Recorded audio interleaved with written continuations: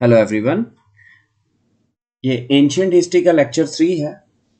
इस लेक्चर में हम प्री हिस्टोरिकल पीरियड्स के बारे में पढ़ेंगे। तो ये रहा first palaeolithic age palaeolithic age तो palaeolithic age old stone age है ये। कब से? Two lakh fifty thousand years से लेके टेन थाउज़ेंड बीसी तक जो टाइम पीरियड आता है, उस टाइम को हम किस में लेते हैं पैलियोलिथिक एज फिर यहाँ पे स्टोन से ही बने हुए औज़ार वगैरह यूज़ होते थे। ठीक है weapons mesolithic age meso meso means middle ये टेन थाउज़ेंड से फोर थाउज़ेंड बीसी फिर neo neo means new new new stone age four thousand से वन थाउज़ेंड कहीं कहीं पे सेवन थाउज़ेंड भी यूज़ करते सेवन थाउज़ेंड से। अलग अलग टाइम पीरियड अलग अलग कंट्रीज़ देती हैं। चालकोलिथिक एज चालकोलिथिक एज में क्या यूज़ होने लगा? कॉपर भी स्टार्ट हो गया यूज़ करना। और ये 200 2000 बीसी से ऑनवर्ड्स वाली। तो फ़र्स्ट मेटल जो यूज़ किया था ह्यूमन ने, वो कौन सा था? कॉपर तो ये था हमारा प्री हिस्टोरिकल तो हम इसको वन बाय वन पढ़ेंगे और क्या इंपॉर्टेंट अचीवमेंट्स थी उस एज की और उसके बाद कौन कौन सी हमें साइट्स दिखती हैं उस इरा की, वो भी हम डिस्कस करेंगे। तो सबसे पहले आ जाता है ये रहा पैलियोलिथिक एज तो पैलियोलिथिक एज कब से कब तक है? फ़र्स्ट हमने पढ़ा ये पैलियोलिथिक एज है twenty two lakh fifty thousand से टेन थाउज़ेंड तक। अब अर्थ अर्थ कब से एग्जिस्ट कर रही है? Earth is four billion years है ओल्ड मैंने अपनी जोग्राफी फ़िज़िकल जोग्राफी के वीडियोस में आपको बताया कि सन की एज क्या है। तो मेंशन करें कमेंट बॉक्स में कि एज ऑफ़ सन कितनी है। तो नेक्स्ट उसके बाद आ जाता है ह्यूमन ह्यूमन या प्रोटो ह्यूमंस कब हमें दिखना स्टार्ट हुए? कितने पुराने हैं? वन मिलियन ईयर्स है ओके नेक्स्ट इस टाइम पे पैलियोलिथिक एज में ओल्ड स्टोन एज जिसको हम कहते हैं टू लैख फिफ्टी थाउज़ेंड से टेन थाउज़ेंड बीसी तक ये टाइम पीरियड था। इस टाइम पीरियड में क्लाइमेट कैसा था? कोल्ड क्लाइमेट था।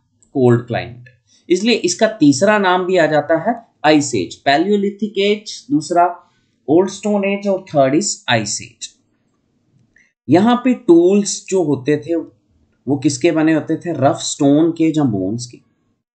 मैन जो होते थे, वो हंटर्स थे हंटर गैदरर थे। और एंड स्टेज में थोड़ी सोशल ऑर्गेनाइजेशन स्टार्ट होगी। End stage old stone age social organisation begins important palaeolithic sites India Indian subcontinent में कौन कौन सी मिलती है? सोहान वैली पाकिस्तान में। ये एक old site palaeolithic age Godavari valley Maharashtra में।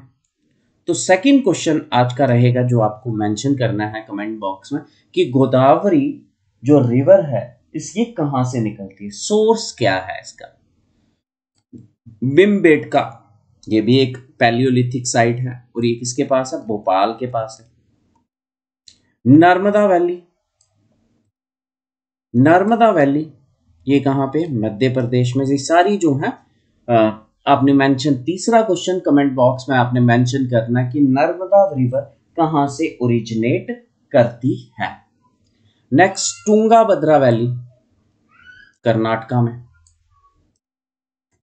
तो फोर्थ क्वेश्चन आपने मेंशन करना है कमेंट बॉक्स में कि टूँगा भद्रा जो है, ये कहाँ से ओरिजिनेट करती है? नेक्स्ट साइट आ जाती है मिजियोलैथिक साइट मिजियोलैथिक साइट जो है ये टेन थाउज़ेंड से फोर थाउज़ेंड बीसी तक. और फ़र्स्ट एज में हमने उसको आइस एज भी कहा. यहाँ पे क्लाइमेट वार्म होना स्टार्ट हो गया था. Warm climate man move to new areas man ने मूव करना स्टार्ट टूल्स जो थे, यहाँ पे भी स्टोन के बने होते थे, लेकिन शार्प होने लगे पॉइंटेड जिसको हम कहते हैं माइक्रोलिथ्स माइक्रोलिथ्स तो माइक्रोलिथ्स भी हमें आर्कोलॉजिकल, आपने एंशियंट हिस्ट्री में पढ़ा था कि माइक्रोलिथ्स से भी हमें एंशियंट हिस्ट्री का पता चलता है, ठीक है? तो शार्प एंड पॉइंटेड टूल्स को हम कहते हैं माइक्रोलिथ्स। तो मैन जो था, अभी भी हंटर था। डोमेस्टिकेशन ऑफ़ एनिमल्स बिगिन हो गई। तो कौन सी एज थी जहाँ पे डोमेस्टिकेशन मतलब पेट एनिमल्स एनिमल्स को पालना स्टार्ट कर दिया था, वो थी mesolithic age. Important mesolithic age कौन कौन सी है? बैगोर, राजस्थान में है। आदमगढ़, नर्मदा वैली, मध्य प्रदेश में है। बिम्बेटका बिम्बेटका कहाँ पे? मध्य प्रदेश में। यहाँ पे आपको 500 पेंटेड रॉक शेल्टर्स दिखते सराई नहर सराई नहर कहाँ पे? साउदर्न यूपी में। बिरहम बिरभनपुर दामोदर। मेंशन करें कमेंट बॉक्स में अगला क्वेश्चन कि दामोदर रिवर कहाँ से ओरिजिनेट करती है? नेक्स्ट आ जाता है neolithic neolithic means new stone age ये 4000 से 1000 बीसी तक है। अर्लीस्ट एविडेंस की, देखो यहाँ पे 4000 लिखा है ना, लेकिन मेहरगढ़ बलूचिस्तान में एक साइड है, वो 7000 साल पुरानी है। और वहाँ पे देखा गया है कि नियोलिथिक साइड में ही आती है। तो कहीं कहीं पे 4000 लिखते हैं, कहीं कहीं पे 7000 से ही ले लेते हैं इसलिए। नेक्स्ट डोमेस्टिकेशन वाइड स्प्रेड हो चुकी थी अब। स्टार्ट कब हुई थी डोमेस्टिकेशन डोमेस्टिकेशन स्टार्ट कौन सी एज में हुई थी? वो हुई थी मीजोलिथिक में। एग्रीकल्चर स्टार्ट हो गई कौन सी एज में? न्यूलिथिक में। कुक्ड फ़ूड स्टार्ट कर दिया था। व्हील चक्के बनना स्टार्ट कर दिया लेकिन अभी भी किसके बनते थे? पत्थर के। पॉटरी पॉलिश्ड टूल्स होने लगे। स्टोन के होते थे, लेकिन टूल्स हथियार स्टोन के ही थे। इंपॉर्टेंट न्यूलिथिक साइट्स कौन कौन सी हैं? बुरजोम श्रीनगर के पास है। ये मेहरगढ़ सबसे ओल्डेस्ट न्यूलिथिक साइट है बलूचिस्तान में। यहाँ पे वीट कल्टीवेट हुआ है। देखा गया। कॉटन कल्टीवेशन देखी गई। तो अगला क्वेश्चन है मेंशन करें कॉटन कौन सी क्रॉप है? रावी क्रॉप है या खारिफ क्रॉप है? कमेंट बॉक्स में। कुलदीवा, इलाहाबाद के पास, वहाँ पे बेलन रिवर वैली जिसको कहते हैं राइस कल्टीवेशन देखी गई है। जब पैडी कल्टीवेशन हो रही होती है तो कौन सी गैस बनती है पैडी क्रॉप्स में? वो भी मेंशन करें कमेंट बॉक्स में। चिरंद, बिहार में नियोलिथिक साइट है। ब्रह्मगिरी, कर्नाटका में है। नॉर्थ कचर हिल्स ये असम में है। गैरो हिल्स, ये भी नियोलिथिक साइट्स बताती हैं मेघालय में। दोजुलिंग हेडिंग, ये भी असम में है। तो ये कुछ इंपॉर्टेंट साइट्स हैं न्योलिथिक की? न्योलिथिक में भी बिम्बटका साइट्स भी आती है।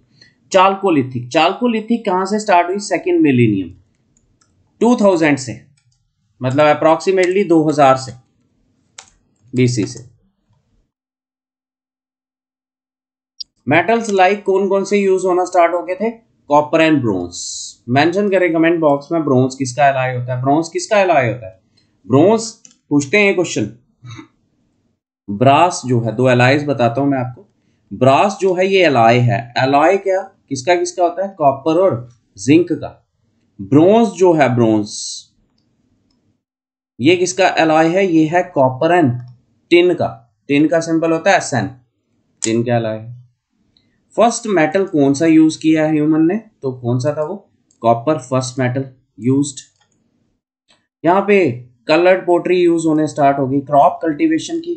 कॉटन की सबसे ओल्डेस्ट साइट कहाँ पे कॉटन सबसे पहले कहाँ उगाया गया? वो हमने ऊपर पढ़ा मेहरगढ़ में। रिलीजियस बिलीफ भी स्टार्ट हो गया था। न्यू चालकोलिथिक में। विलेज कम्युनिटीज बनना स्टार्ट हुई। फोर्ट्स बनना स्टार्ट हो गए। फोर्ट्स के अंदर लोग रहना स्टार्ट हो गए। इंपॉर्टेंट चालकोलिथिक साइट्स कौन कौन सी हैं? आहार कल्चर उदयपुर में।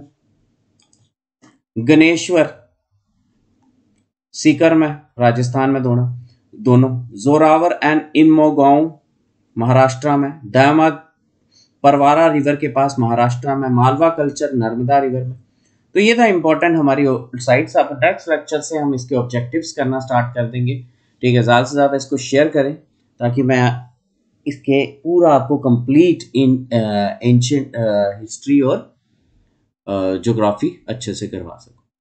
नेक्स्ट आ जाता है earlier earliest evidence of rice cultivation rice cultivation की अर्लीस्ट एविडेंस जो है वो कहाँ पे हुआ था? तो आंसर है इसका कौन सी वैली बेलान वैली में। अर्लीस्ट एविडेंस मिलता है कि राइस की कल्टीवेशन और बताएँ कॉटन की कल्टीवेशन कहाँ मिलती है? बेलान वैली कहाँ पे है? इलाहाबाद यूपी में इलाहाबाद यूपी में अर्लीस्ट एविडेंस राइस कल्टीवेशन का। ठीक है who among the following is known as father of Indian prehistory father of Indian prehistory किसको कहा जाता है? Robert Bruce Foote Robert Bruce Foote को कहा जाता है। Father of Indian history which among the following was the main occupation of palaeolithic people old stone age के जो लोग थे, वो किस पे डिपेंड थे? ज़्यादातर हंटिंग पे डिपेंड थे। हंटिंग पे। क्लियर हो गया? नेक्स्ट क्वेश्चन आ जाता है at which of the palaeolithic sites at which of the following sites all the palaeolithic mesolithic और न्यूलिथिक तीनों ही मिलती हैं? तो वो कौन सी है? बेलान वैली बेलान वैली कहाँ पे है? कहाँ पे है? बेलान वैली, अभी पढ़ा हमने। इलाहाबाद में है। राइस कल्टीवेशन की सबसे ओल्डेस्ट। और कॉटन की कौन सी है? Mehrgarh Gufkral chalcolithic site. कहाँ पे जम्मू एंड कश्मीर में है। पहलगाम के पास है ये। पहलगाम के पास। Okay, clear? Thanks a lot for listening ठीक है, ज़्यादा से ज़्यादा शेयर करें और चैनल को सब्सक्राइब करें। Thank you